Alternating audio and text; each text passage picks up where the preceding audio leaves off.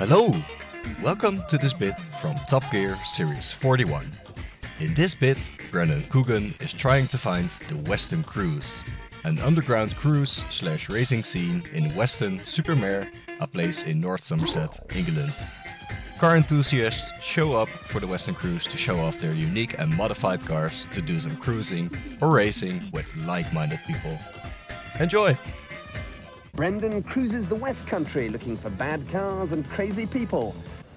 Now you can keep your Saint-Tropez and your Monte Carlo because I know I have arrived as a Top Gear presenter because these are the salubrious surroundings of, wait for it, Weston Super Mare.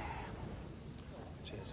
Thank you. Yes, I've come to one of Somerset's most glamorous seaside resorts to investigate the seedy underbelly of motoring culture, commonly known as a cruise. But first of all, I've got to find it.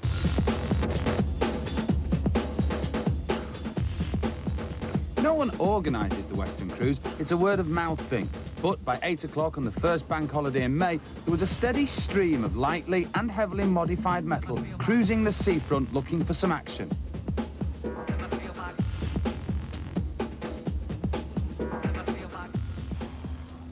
Well, this was going to be the place where the boys and girls were going to congregate to do their thing, or indeed, thang. But as is often the case, the authorities have got wise and closed the whole area off. So now we suspect somebody is scouring Weston-super-Mare looking for another huge car park. Time to move on.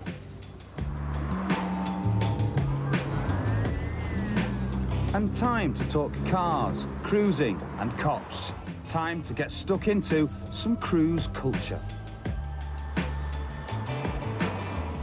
Fellas, you've obviously spent a lot of money on the car. How much? That'd be telling, wouldn't it? So are you going to be um, cruising up and down tonight? No. I'm in, Daddy Baby. Not doing any I've got to be in by 10. Cheers, guys. How many cars do you reckon will be down here tonight? Thousands. Yeah, thousands of them. And they'll be all from all round England as well. They all know about it. Now, I've noticed that there's not too many police around. Um, are you worried about the feds coming down later?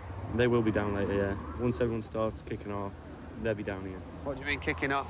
Burnouts, Burnouts, fast, everything, everything. oh, yeah. They'll be down here. The cars on display range from the predictable Novas and Escorts to Citroen BXs and Peugeot 405s. All with the ubiquitous huge bore exhausts and alloy wheels that do anything but keep a low profile.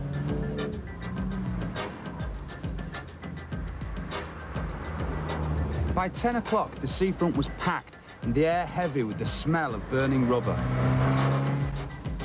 Hey, excuse me, um, noticed you're filming. Who are you filming and why? Oh, film, filming all the cars, basically. What's what's the fascination? What's the interest? Wow, what they've got, how fast they go, what they like, how the kitties up. You know, everybody's here to have a laugh and, you know, it's all social. You meet a lot of people from, you know, all around. All right, so far so good, but we've now heard that things might be going on in the car park of a well-known burger establishment. So that is where we're heading now. Well, that was where we wanted to go, but the law had other ideas. By 11 o'clock, there were roadblocks around Weston as the police tried to break the crews up. The only place we could go was home. So, last weekend, we went back to Weston to try and find the reason for the huge police operation. There had to be a darker side to the cruise. It was all quiet on the western front, but near McDonald's on the edge of town a crowd was gathering. Amongst the throng of Novas and Golfs were some pretty special cars.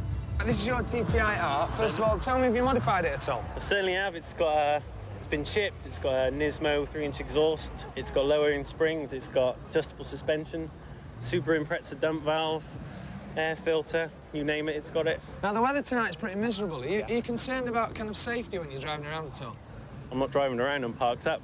Tell us, um, first of all, about all of this in the boot. What's all that about? Well, basically, uh, big sounds um, is what's required when, when you've got a modified car.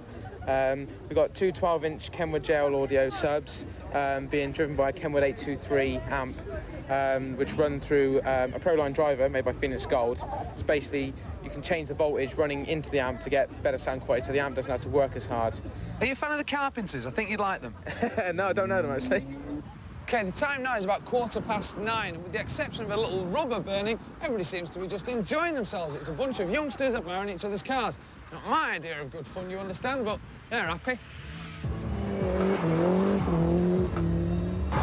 But as darkness fell, the mood changed.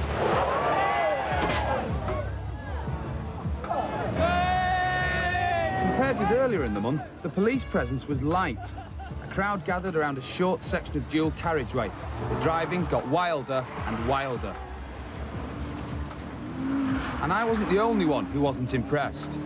I just think that people like this come and ruin it for everybody. They come down and show you car, and there's people going to get killed here. A lad over there in a BMW almost wiped out about 20 people. Is that what we want? Deaths on the hands. Police don't want nothing to do with it.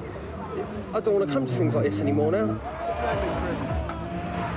And remember, these were all public roads. The driver this Sierra is about to hit was just caught up in the action. If Weston was anything to go by, cruise culture seems to be split between those who just want to enjoy their cars and those who think it's cool to drive like an absolute lunatic on the street. I can't help thinking that an organised event on a disused airfield would allow them all to do their thing and let the rest of the world get on with theirs. I came to Weston with an open mind, but I left with it firmly closed. Thank you for watching.